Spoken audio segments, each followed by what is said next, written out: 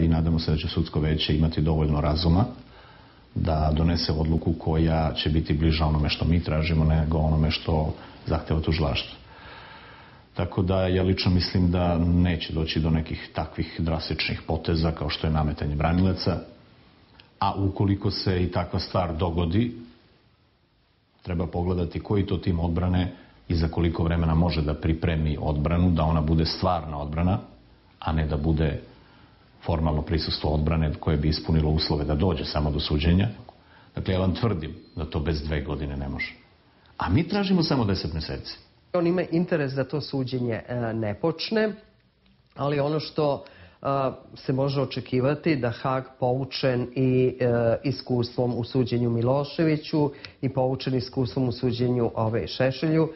neće više dozvoliti igre, nego će, znači kao u slučaju Stanišića, to suđenje se odvijati nezavisno od toga od osjećanja Karadžića da li, je on, da li ga je Hollywood prevario ili ne, da li će Savet bezbednosti odgovoriti na taj zahtev ili će to naravno neće se ni baviti e,